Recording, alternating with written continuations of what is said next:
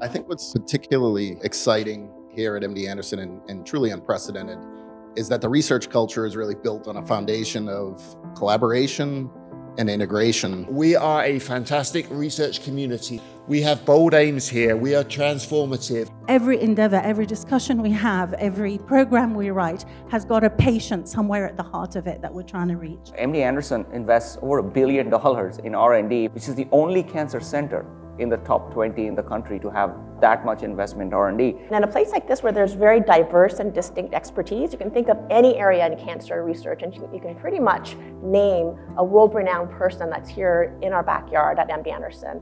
A collaborative atmosphere and the, and the, depth of the clinical research here is a great place to be as a basic scientist. I'm really excited about the future for MD Anderson. You know, not only are we going to continue uh, giving excellent clinical care, but we're also building out our research infrastructure so that we can recruit more talent, and work more closely together, really have new therapies, not only to treat established cancer, to intercept precancer and early cancer, but to prevent cancer altogether.